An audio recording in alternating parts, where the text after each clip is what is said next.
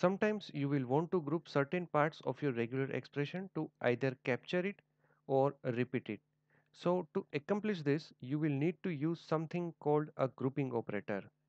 The grouping operators have multiple functions.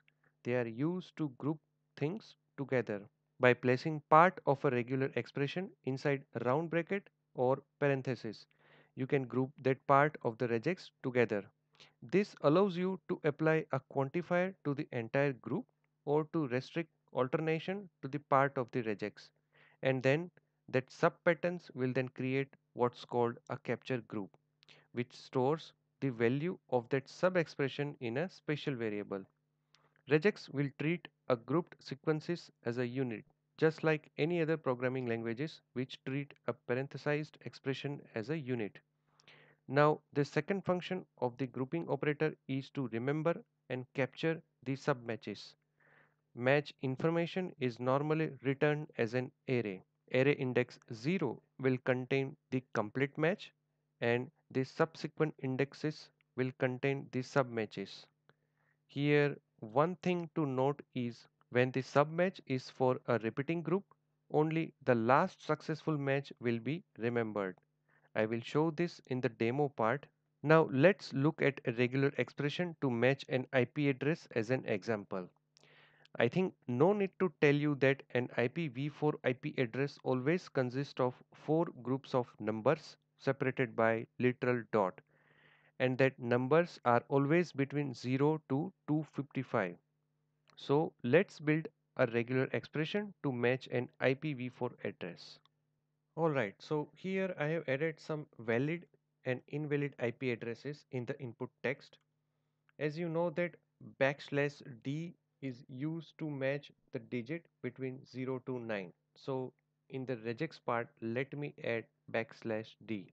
Now here what I want is I want to match a digit at least one time but not more than three times. So here I need to use a repetition quantifier so in repetition quantifier, let me add 1 comma 3 in curly brace followed by a literal dot. Now next either I can repeat it two times to match the next two numbers or I can group those in parentheses like this and then I want to repeat this preceding pattern that grouping exactly three times. So let me add the repetition quantifier like this. And lastly we want to repeat the numeric pattern one last time but now without dot. So as you can see that our regex is ready now.